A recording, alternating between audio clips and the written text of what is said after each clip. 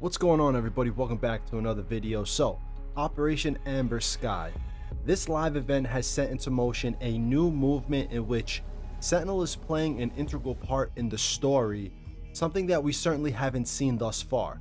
With Walker dead, Trey Stone killed, the strategist captured, and the main leadership dismantled, Sentinel and the Wolves are left on the island of Auroa with no real direction or purpose but that all seems to change with Operation Amber Sky.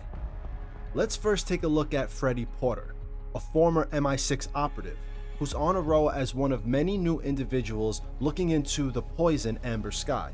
As a mercenary, he has no allegiance to anyone and will go where the money is. His knowledge of security systems can mean we can possibly expect an extremely locked down Moa Island if he was to have any part of what's going on within the Breakpoint storyline in year 2. Now, captured, we might get some first-hand knowledge as to what he was up to and who he was working for. Then there's Miss Tanaka, another agent of death, looking to purchase Amber Sky for her own agenda. This leaves us with more confusion than anything because unlike Freddie Porter, we did not capture Miss Tanaka. We only know that she's looking to involve herself with terrorist activities within her country of Japan, as she mentions gassing the city of Osaka. However, our biggest leads as to why we will see Sentinel and quite possibly the Wolves splinter off into a new faction is due to an agent whose call sign is the General. We come upon the information for the General via an unknown subject whose purchase of Amber Sky leaves us with intel that the general will be most happy with the business dealings that have gone down on the island.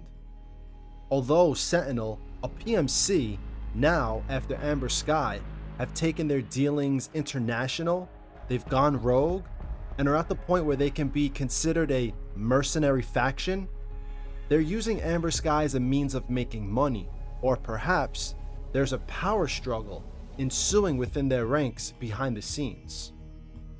The general is known to have an uncanny ability to draw people to his cause with blind devotion. And therein lies the biggest clue we get as players during Amber Sky as to where year 2 might take us. The general looking to expand his power and quite possibly looking for more than just Amber Sky when finding out what's on Auroa or possibly already knows, the technology therein will set up shop on Moa Island with the help of certain Sentinel soldiers and possibly wolves. This new faction will control Moa Island and bring upon a new faction to fight for the players in year 2. I believe we will see these ex-Sentinel soldiers wearing camel fatigues, night vision goggles, and they will be more in line with what Ghost Recon players are looking for when fighting a foe. Gone will be the generic enemies of Sentinel on Auroa with t-shirts and jeans.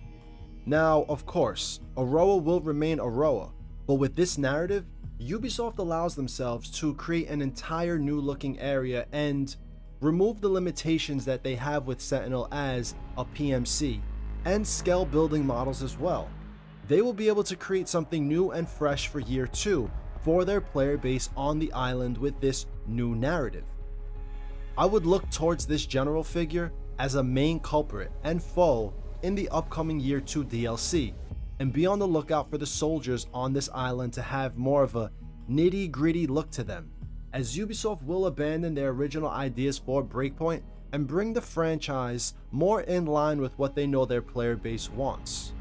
So with that being said, what do you all think? What are the possibilities of Year 2 for Breakpoint? What do you think will happen with the storyline with what we know so far? Will Moa Island be a fresh new take for Ghost Recon Breakpoint? Or do you think we'll get more of the same? Comment down below and let me know your ideas. That's it for now, ladies and gentlemen. Everyone have a great day, and I will see you all in the next video. Alright guys, peace.